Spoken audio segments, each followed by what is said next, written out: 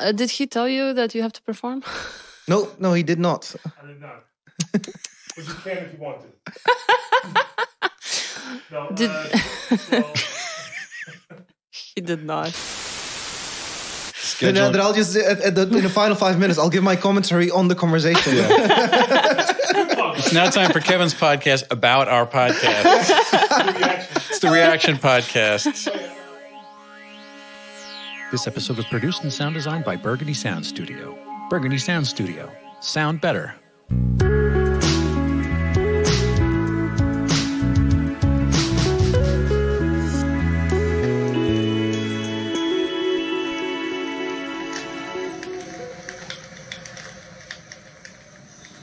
Hello and welcome to Word Up Podcast. I'm Evy. Hey, I'm Bill. How are you, Bill? Uh, I'm okay. Yeah, can't complain in this this this no time, no space atmosphere we uh, exist in here. I'm doing quite well. Yeah, we're just hanging over oblivion. It's it, you know right. There's no gravity. It's airless. It's We're in oblivion. Yeah, just Yeah. suspended in midair, looking Yeah. into the, the vast chasm. Yeah, it's just great. eating from the tubes. Right, the cap capsule food. Yeah. packets of yeah goo that we eat in space. That's fantastic. Yeah, great. Like washing your hair with like floating water. Right, little globules of water that are floating in the space. Yeah, right. Yeah. Wearing socks all the time indoors. I I love it. love socks. Yes. Fuzzy socks. Well, it's just cotton socks for me. That's all. So, shall we talk about our guest? Yeah, I think so. He's been waiting for hours. We should let him in. Yeah, I think so too. So, hi, Kevin Groen. I can never pronounce your surname. Thank you. Hi. How are you today? Um, I, I'm I'm doing well. Yeah. Um, I'm looking forward to the podcast, so I'm I'm pretty energized. So, can you tell uh, our listeners who don't know about you who you are? Uh, yeah, uh, sure. Um, uh, who, I, who am I? Uh, I am a um, uh, adopted South Korean uh, boy. Uh, grew up uh, in the Netherlands, and um, I um, I am incredibly, insanely passionate about behavioral change, Mhm. And um, that is also how I make my living. Um, self-employed behavioral change enthusiast. Uh, I get hired by uh, organizations to usually run six to 12 month programs uh, for them to help people internally uh, sustainably change behaviors. Mhm. And um, I think I, I've always had a, a, a- a fascination for words as a, as a kid. Uh, I think the history of, of my fascination for words traces back all the way to when I was six years old. Um, and, and that's my hobby. So spoken word, um writing poetry, performing it on stages. Um, yeah, um, that's I guess that that's that's what I do, and um, and yeah, be, being adopted, growing up in the Netherlands, uh, identity uh, has always been uh, uh, the constant sort of factor throughout my life. The question about what does identity mean. Yeah. And how was it for you to grow up in, because you didn't grow up in uh, Amsterdam, right? No, I, I grew up in the, uh, so I grew up in uh, my first part of my childhood. I grew up in a small village, like two thousand people, and then the other second half of my childhood, I grew up in the countryside uh, with farms and fields. Wow. Wow. Okay. and um, um, so so uh, I, I think growing up in the countryside was great because as a kid, um, having all that sort of for me that was that was freedom, um, and um, and I enjoyed it. Um, I think the what people often bel what people often think Mhm. is that uh, my life must must be easier in Amsterdam than it was back in the countryside. I think this is probably one of the biggest mis- misconceptions that people have. Um, I, I worked on a farm. Uh, I started I started working on a farm when I was uh, about twelve years old, so like on, on, on weekends, and um, the most sort of accepting people uh, that I've met were farmers. Hmm. Uh, and people often think, well, you you grew up in a small village, you grew up in the countryside, so people must be very narrow-minded. There must be very intolerant, and Amsterdam must be super tolerant and accepting. And for me, it's been kind of the opposite. Right. Uh, yeah. But I do it really. Uh, I really love living in Amsterdam. How long have you been in Amsterdam for? On and off, uh, ten and a half years. Okay. Um yeah, um, with You- some stints somewhere else. I mean, I'm sure you've seen some change in the city over 10 years. That's enough time to have uh, been here for sure. I think the uh, uh, sure, but, but at the same time, because you live there, um, you it's it's weird because you're part of the change. So sometimes it's it's harder to to pinpoint what has changed in Amsterdam because a lot of that change then happens gradually, rather than if you leave the city for five years and then come back. Mm. Um, Yeah, this is myopia. If you're looking at it every single day, you just kind of get used to the smell. As Yeah. it would be. Yeah, right. So I, you know, I'm fascinated. I love this term. When I was when I was researching you, I saw the idea of behavioral um, behavioral change enthusiast. Is that what you called yourself? Was that a, a term that you coined? I mean, is that something? Because I've never heard it before, but I think it is the sort of perfect, you know, linguistic terminology, the perfect crystallization of a concept that we're all sort of right on the cusp of now. Yeah. You know, and it's like people, uh, I mean, obviously, back where I'm from in the United States, we're fighting this battle and it's going one way or the other. Um, but I mean, that, that's it's a real great way to put that. The idea is like, well, you are trying to, you know, change people's behavior, and I mean, it's it's fascinating that you, you know, you've dedicated your life to this, but it seems that you have figured out a way to apply this to the world. I mean, it's it's you know, it's inside your professional life, it's inside Yeah. your personal life, your your your public life, also at the same time. It's, it's really a part of a crusade almost. Yeah, it's um. So I find so labels like expert uh, uh sometimes difficult uh, because um. Um, in a lot of fields, uh, expertise is developing, is evolving. So, if, if if your expertise stems from like 20 years ago, it is very likely to be outdated Yeah. today. Yeah. and um, and so behavioral science is also developing, and um, and so I, I to to call myself a behavioral change expert sounded wrong to me, and and so I and and and that is important because if I tell a client who what I do and who, who I am, uh, I, I want to make sure that what I say is comes with conviction, and and and I, I own it 100. percent And so, the the also the label trainer or coach was was something I could never really relate to. And then um, uh, I always said I'm I'm I'm passionate about behavioral change. So at some I, I don't remember when, but then at some some some point it was oh enthusiast because that's what I am. I'm an enthusiast about behavioral change and and I'm constantly trying to learn more about it, reading books, listening to podcasts, documentaries, um, because I don't want to. Also, I don't want to get stuck in this idea that I'm already there. Like once you, you're an expert, and, I, and, I, and I've noticed that a lot with people in in science.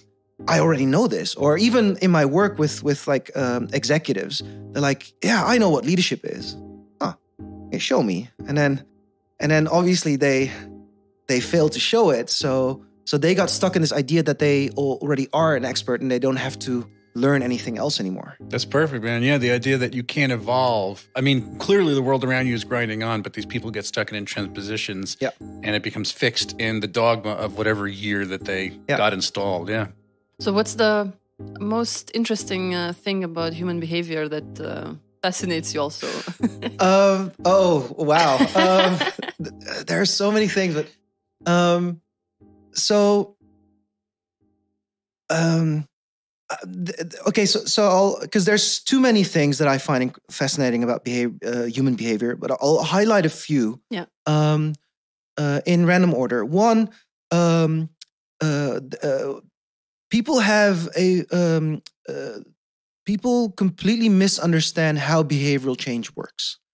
So, so most people think that just good intentions and a goal is enough for, Mm. for behavior to change, and that is fundamentally wrong. Like, it, it's not that intentions and goals don't don't matter, but Mhm. it is far less important than people think it is. The other thing that uh, people, and it's it's a lot of misconceptions and myths. A, a lot of an, another thing that that I've noticed a lot is that people uh, think that uh, they are in full control over their own behavior. Mm. And philosophically speaking, you can argue you are in control of your behavior, but Mhm. it, it does dismiss the the impact and influences of external inf- in- influences. So our behavior in the supermarket is influenced by very smart marketeers. Um, our behavior, like, and, and as soon as there are more people involved, Yeah. so in my case, when I when I work with organizations, it's it's people working together. Uh, so there are multiple people involved. Your behavior and your responses will influence mine. Yeah. And it would be naive to believe that my behavior um, exists in a vacuum, and so uh, a lot of people completely do not take that into consideration. They think like, "Oh, that's easy because I can do that," and then they they don't take into consideration that well, there's the moment you get together with other people, their behavior, their attitude, their mood, their energy will impact yours. Yeah. Um, um, and that's a, another uh, misconception about behavioral science. And then uh, the third thing I'll, I'll highlight is, and that this is something that keeps coming back in my work, and that this is probably also sadly why I have a job. Um, uh, there are four things that I've noticed, uh, regardless of culture, regardless country, field, industry, hierarchy, age, gender, uh, etc., that that keeps coming back in the Mhm. work that I do uh, from my observations, and that is, um, as human beings, we are incredibly bad at listening when it matters. We're not bad at listening, but we're b- bad at listening when it matters. Two, we are significantly more judgmental than we'd like to admit. Three, we are very bad at transforming conflicts. So most people are either good at running away from conflicts or they're good at just trying to manage the conflict to an extent that it doesn't, you know, escalate Mm. but we're not very good because we haven't learned the skills throughout our lives consciously on, on how to transform conflicts. And then the fourth thing that keeps popping up is um, we, as human beings, we're wired for stories. So we cre- like our brain is creates narratives in split seconds. Yeah. Uh, we see something happening and we create a narrative about it. Some somebody does something to us that we don't like, and we create a narrative about that person. Yeah. Right? Um, a, a person cuts us off in line, and we create a narrative about that person. and we do that in split seconds. And we don't realize how quickly we create those narratives and how much those narratives influence our energy, mood, behavior. And so those four things keep coming back. And Hmm. it is it is interesting, and, and there's an explanation for that as, as well, is that in school, we get taught all these courses like maths, language, geography. Yeah. Um, we learn how to do these calculations like the tables, like like one times five, two times five, Yeah. three times five, and, and we learn them by heart. So we consciously learn all these what we consider uh, often hard skills. But at no point throughout our our uh, uh, educational uh, life do we learn very consciously and deliberately interpersonal skills. So if we do end up having fairly well developed interpersonal skills, it's it's more sheer luck often than that it was a, a deliberate plan. Right. Or by accident. Yeah, exactly. Yeah. Well, which is luck, Yeah. I guess. You know, um, I found that at the age I'm at now and the circles that I run, people who, let's say, look like me and have my own cultural background, I think. I I think everything you're saying. I, again, this is this is it's a superb way of thinking about it, and it's a um, a great way to term this. And it occurs to me that one of the threats that people think there, there's this fear of rebuke, there's this fear of punishment that comes from any of this examination. That uh, the Mhm. minute that you begin to track behavior, the minute that you engage in any discussion, it's merely for the purpose of being squashed or being Yeah. told you're wrong. Yeah. And I, you know, this is the problem I can see even just having rational discussions with people is that they can't wrap their head around it being almost like a neutral or benign conversation. Yeah. It's punitive. And I mean, I haven't seen anybody uh, other than, you know, your sort of technique that you're describing. I haven't heard anybody, you know, talk about it in a way that seems constructive or at least, you know, you mute that punishment aspect of it. And I guess that that comes back also to uh, some of the myths around uh, behavior and misunderstandings. Is um, uh, myself included. Um, uh, as, as as human beings, we we, we are uh, often biased to think that behavior equals identity. So uh, my behavior is is my identity, um, but behavior can be changed. Uh, like riding a bike, learning to ride a bike does not mean anything really about your identity per se.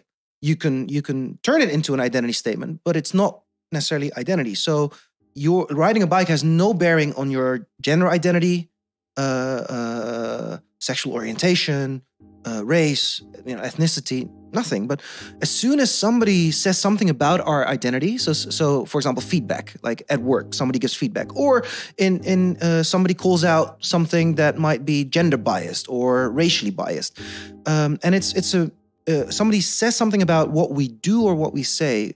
Very quickly, we usually immediately jump to the conclusion: Oh, are you saying that I'm a bad person? Mm. So, one, is addressing behavior, and then on the re- receiving end, we kind of usually perceive that as an identity attack, and we need to learn to separate identity from behavior.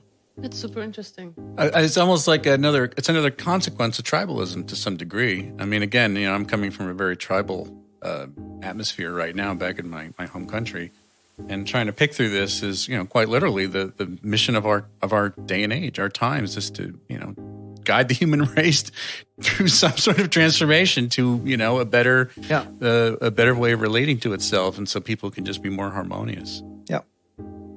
So now I would like to speak about.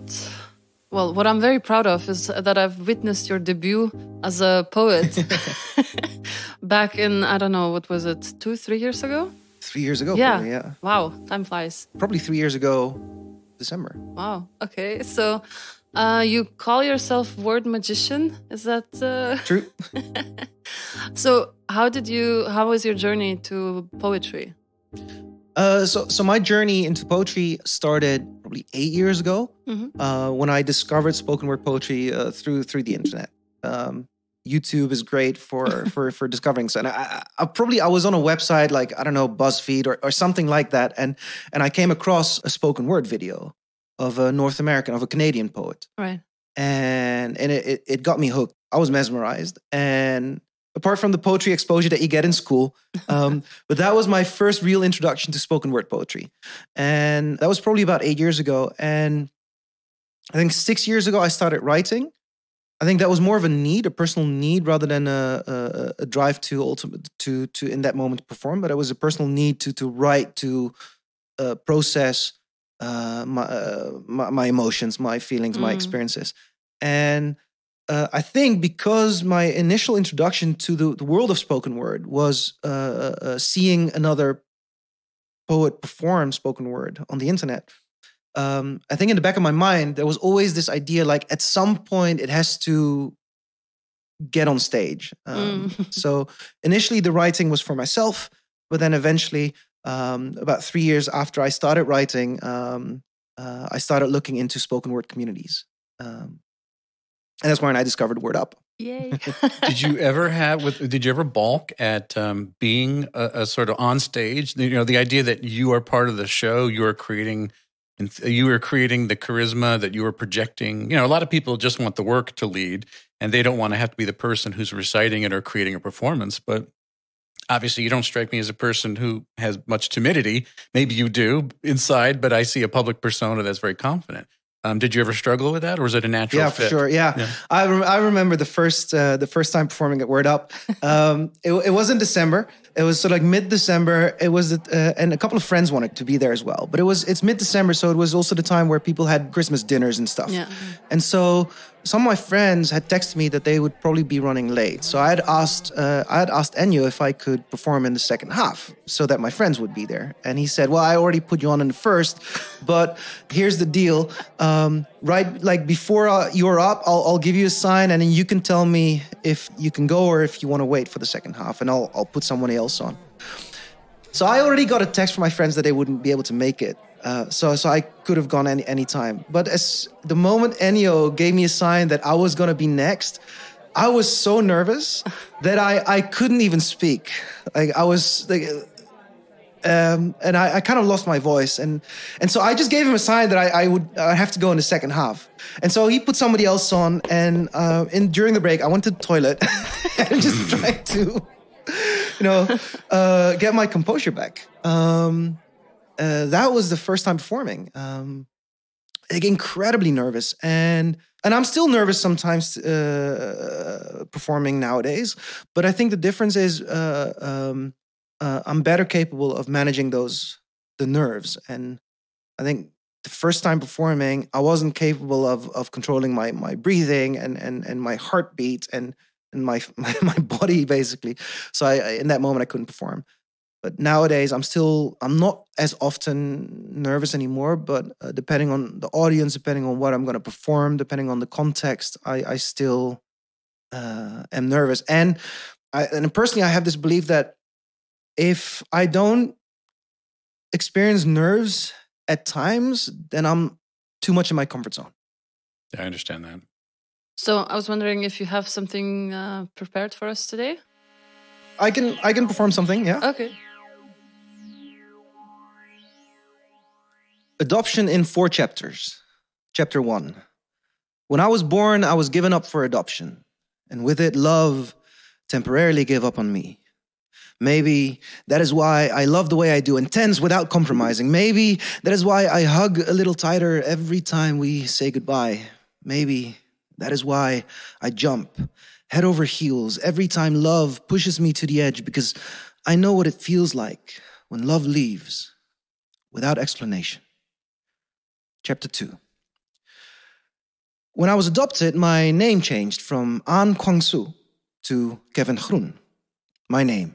A game of Scrabble. My name. An upgrade, an improvement. My name. A winning combination. An Kwang Soo. 22 points, but no premiums. Kevin Groen. 18 points, but triple word value. Society continues to question my identity. An Kwang Soo. Ooh, too difficult to pronounce.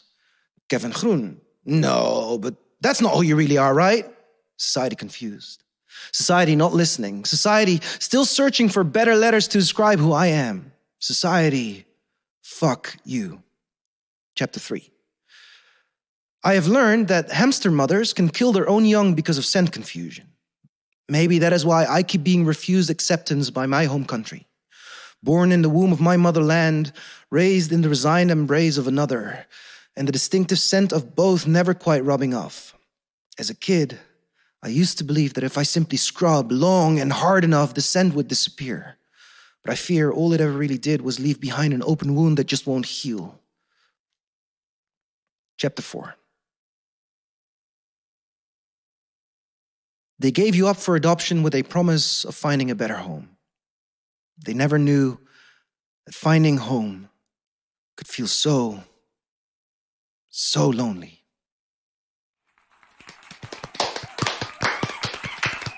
Wow. Wow. I'm like gasping a little bit.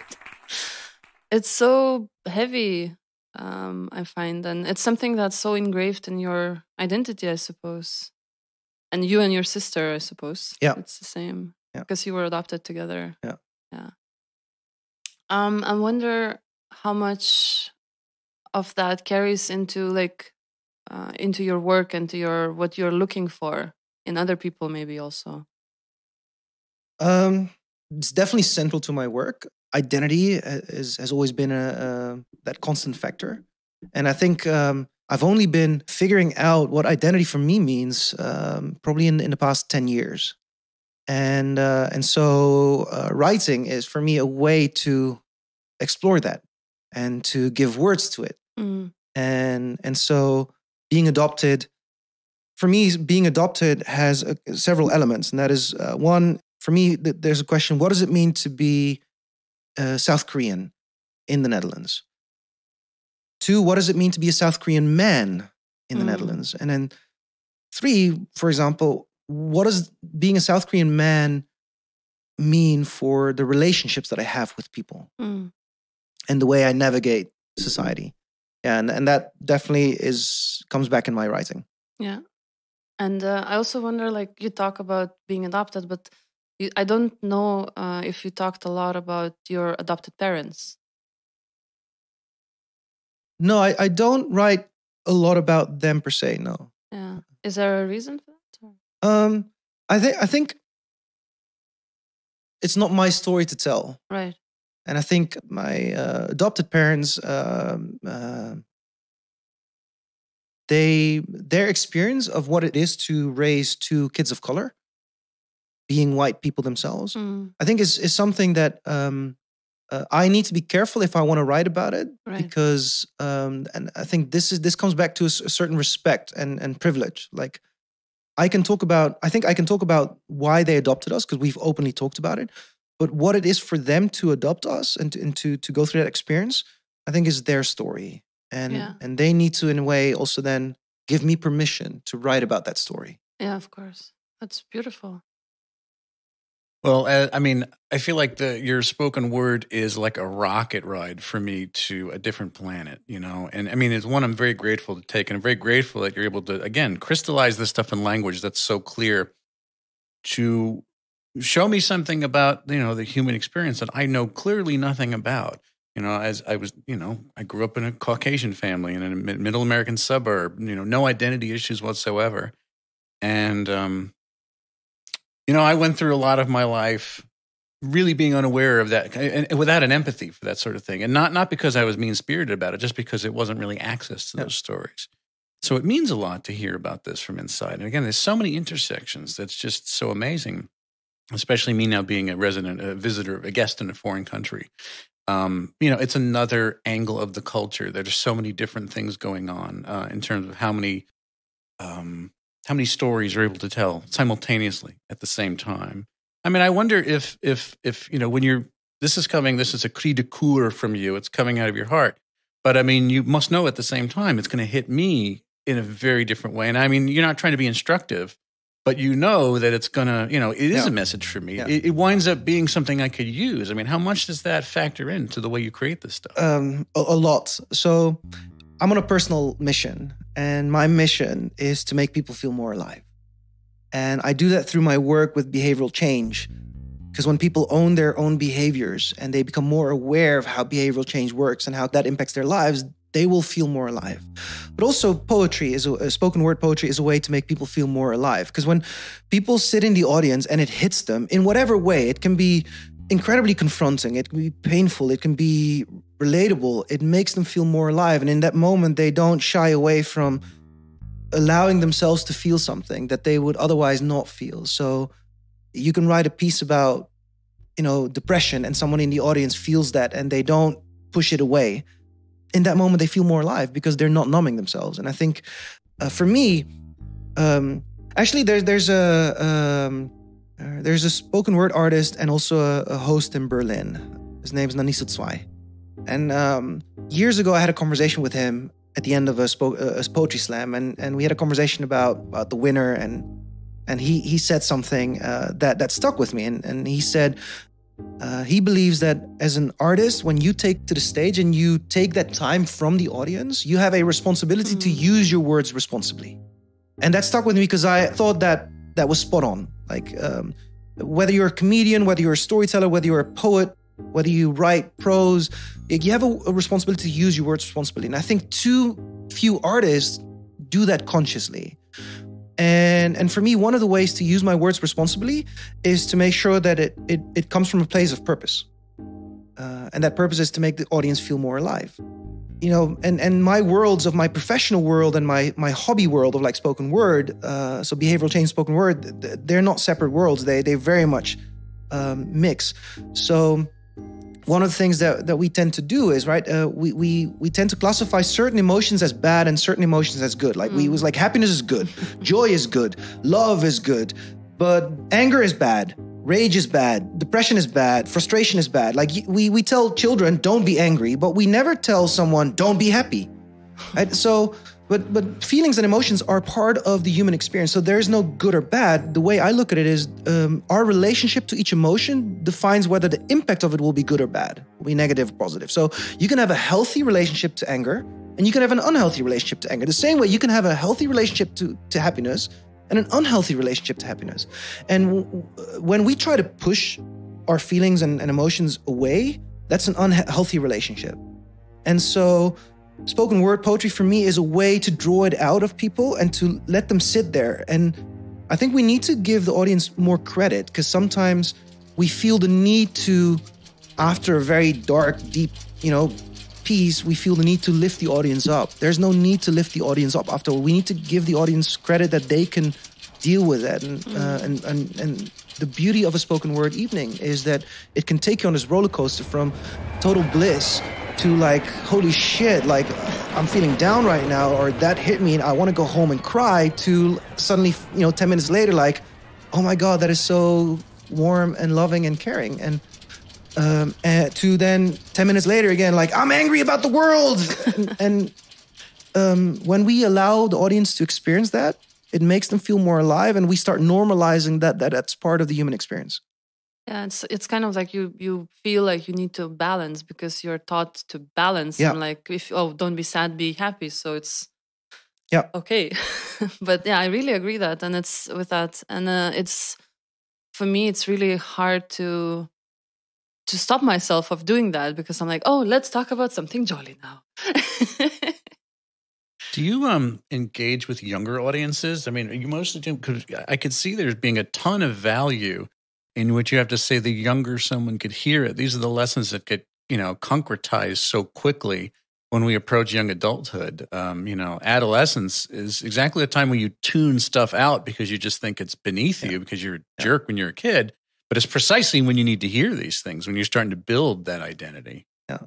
Um, I predominantly work with uh, adults, um, and sometimes I get an opportunity to work with uh, younger people. And when I say younger people, it typically then is in the range of, let's say, 18 to mid 20. But then um, two years ago, I had an opportunity. Uh, no, actually, um, last year, I had an opportunity to work in a, to spend a week in a school. Like uh, this was 12, 15 year olds and it was a school like in the middle of nowhere in Germany, and they had asked me if I. Uh, it was just before the summer holiday. They had a, a learning week, and that learning week was uh, people like the, the kids. They could just pick subjects that were offered by external people, so not no teachers. So there was a hip hop wor- uh, workshop, and they asked me if I could do two two workshops throughout the whole week. So it was uh, uh, every day, like one and a half hours on each of those subjects with a group that I would be working with for four days and one was uh, performance skills, so more like pre- Yeah. presentation skills, and the other one was life skills, which was the far more fun one.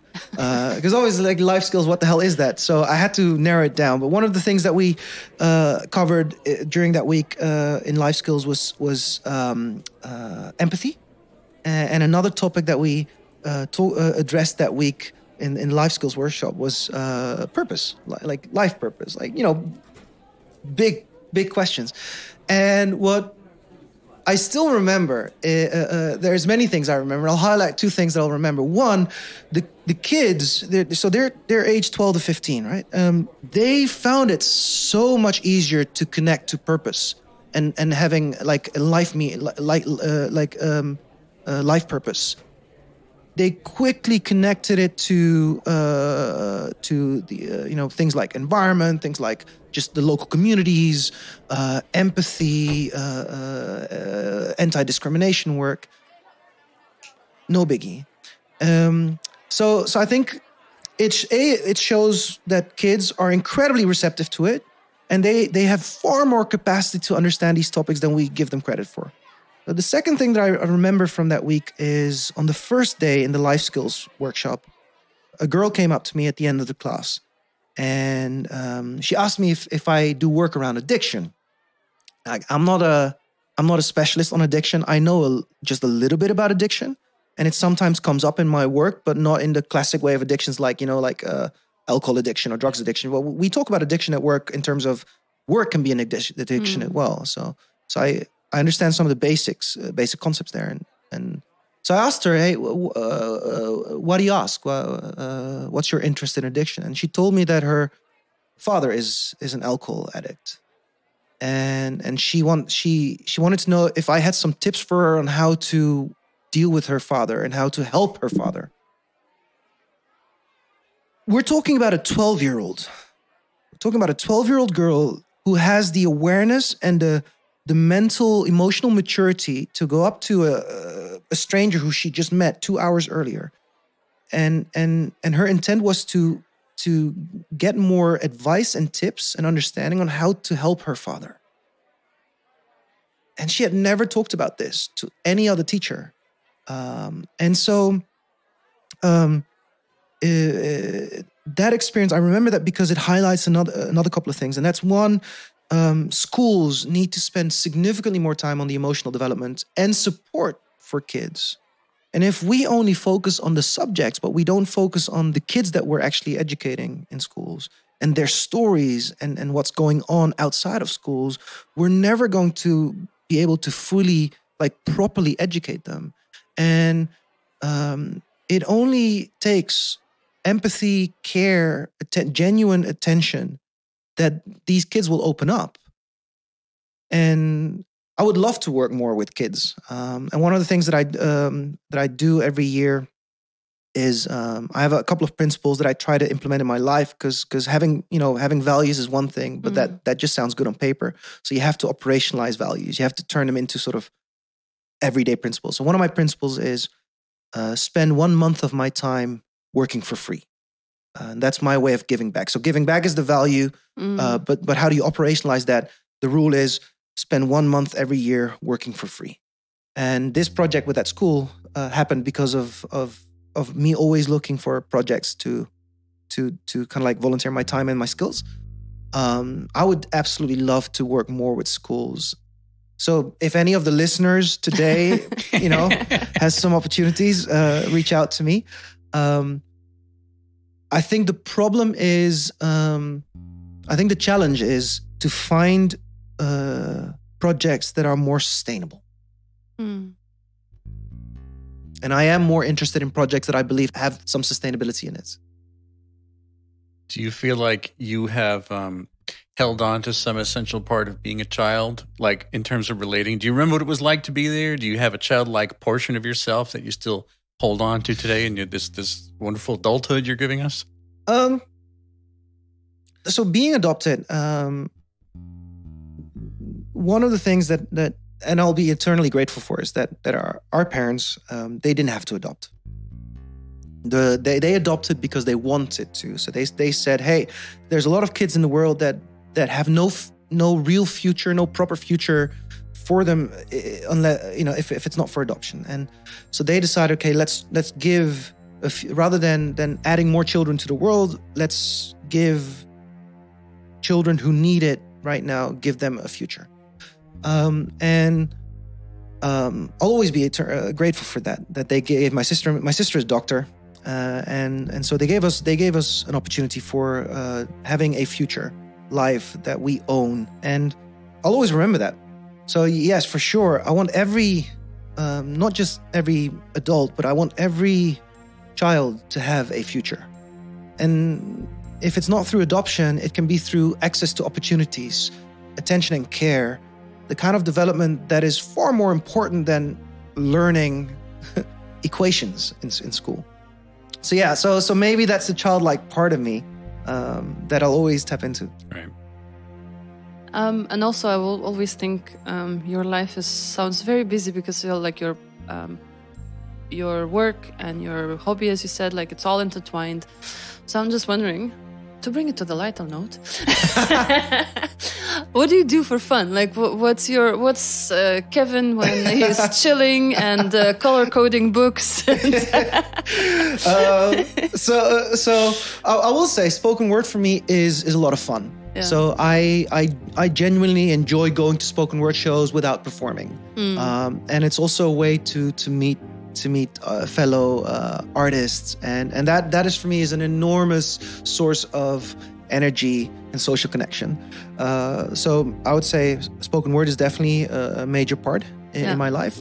Uh, a couple of other things that I really enjoy is is cooking and baking, and and making coffee like art, you know, quality artisanal coffees at home. So I, I I have like a whole like I have six brewing methods at home. I want to grind my own visit your beans. house, man. You look like the kind of friend I want to have. um, I uh, uh, surprisingly, uh, this will surprise a lot of people probably, but I am incredibly lazy.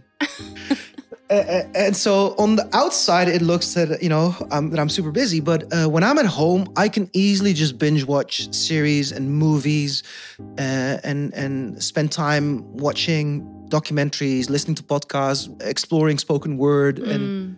and before I know it, I've spent like eight hours online. um, so, so that's the other side. Uh, side. Um, one of the other things that I uh, I enjoy a lot is uh, two more things that I really enjoy a lot. I enjoy uh, creating shared experiences. Mm. So it can be anything, right? It can be taking friends on a trip, or it can be organizing a, a dinner party or something. Uh, creating shared experiences.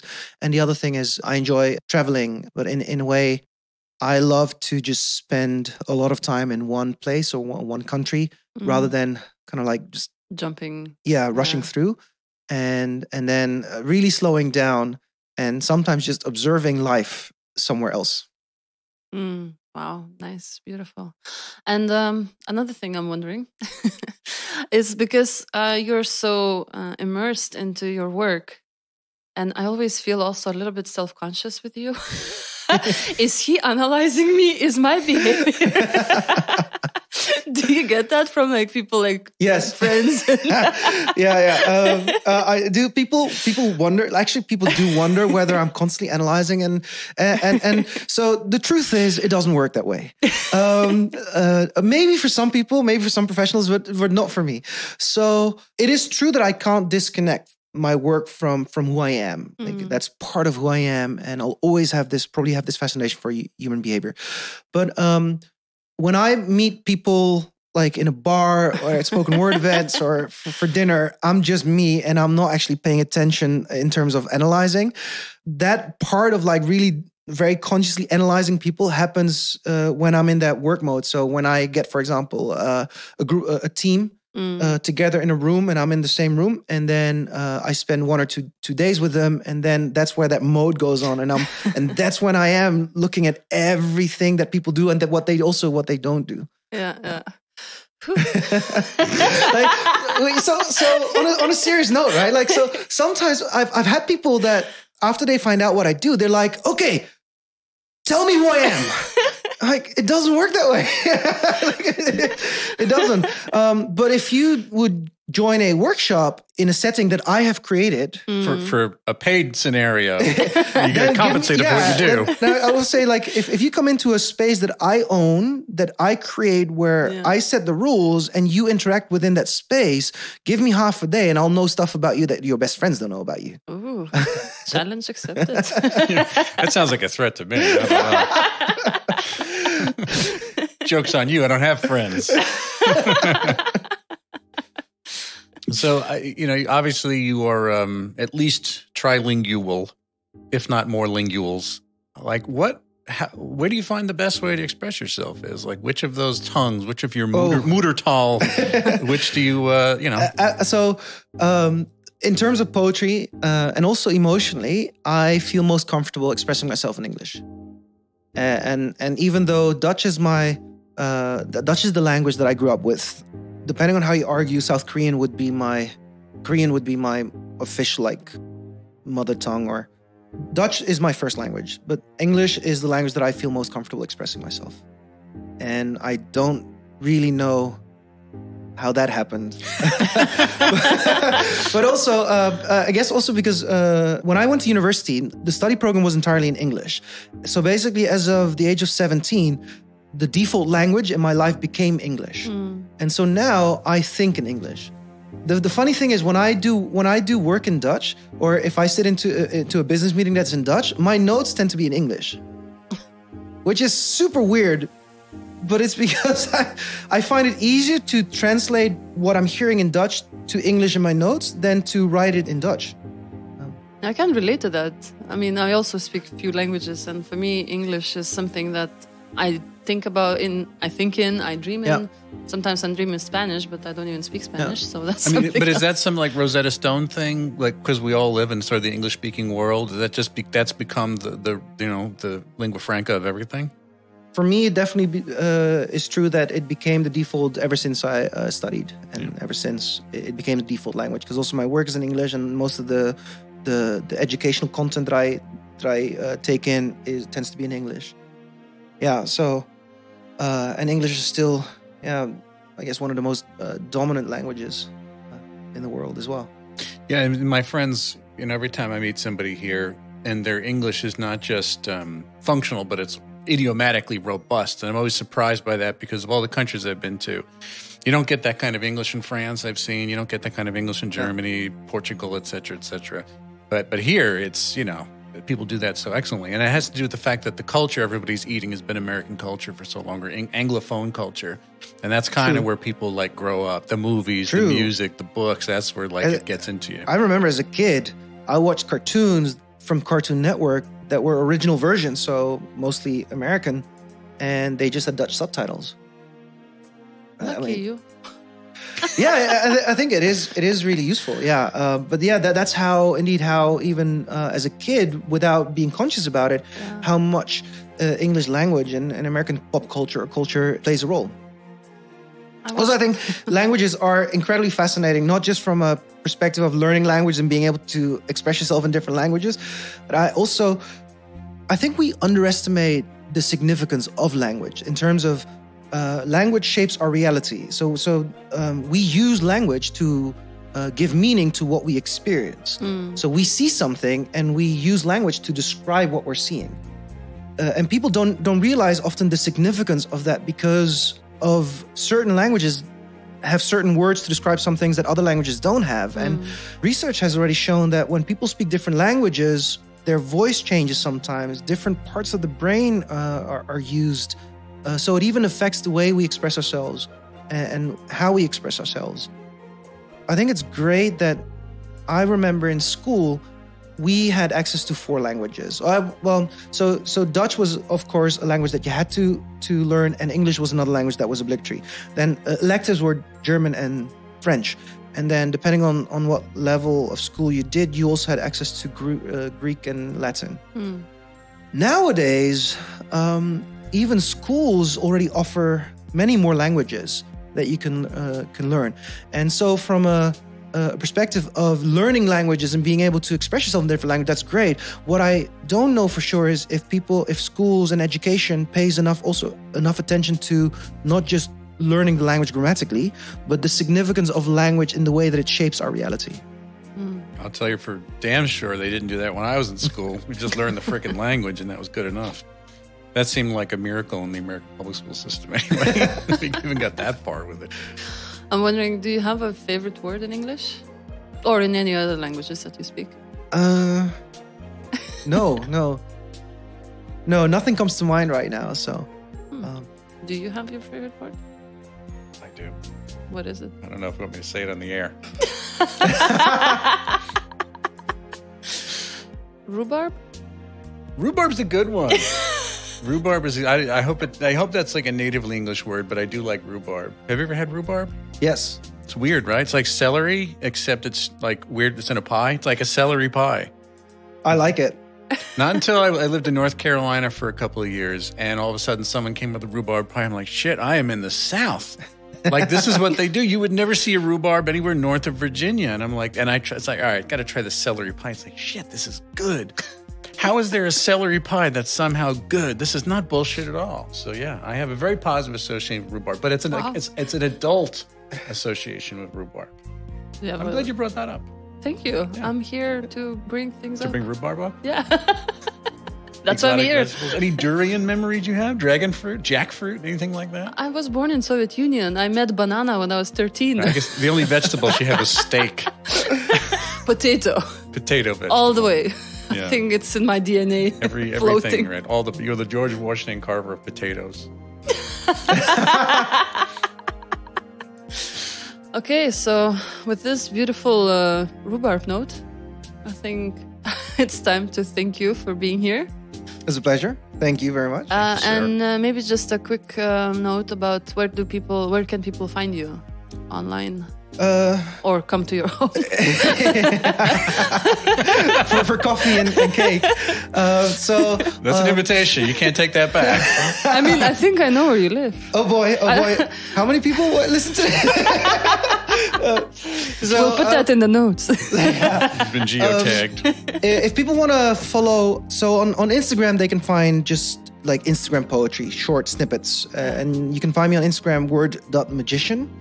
If people want to follow the, uh, and, and, and read more on the stories that I post and the uh, articles that I write and, and the longer performance pieces, and, uh, then they need to go to Facebook, and that's where uh, Kevin Groen, G R O E N. Uh, and otherwise he was looking at me when he said that, like I wouldn't get it. and uh, LinkedIn, the same thing, Kevin Groen. Great. So thank you so much, Kevin, for taking your time to be with us. Thank you very much. And we're It was a still looking forward to the coffee. Hey, No pressure. Just Come on coming over, yeah. directly.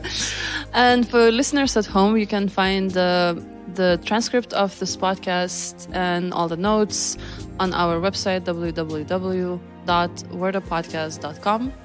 And of course, on social media, so don't hesitate to say hello So we want to have a conversation about this episode. Get in touch with me and Evy on Twitter. It's probably the easiest way to do it. We're on Twitter at Word Up Podcast. At Word Up Podcast.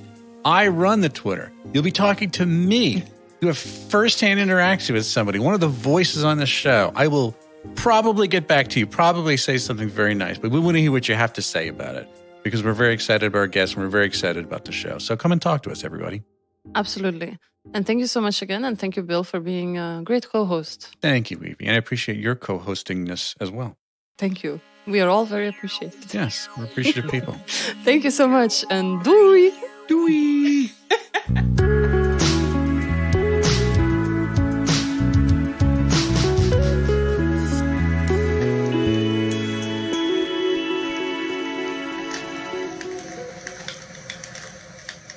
By the way, okay. boobs. That's my favorite word. Boobs. In Oh, English. you can say that. You can No, say I that. could. I just want to make sure I wasn't, you know, Like specific boobs or just all of them. I'm just a fan. Well, I like the word boobs because it makes you think of all the boobs. Yeah.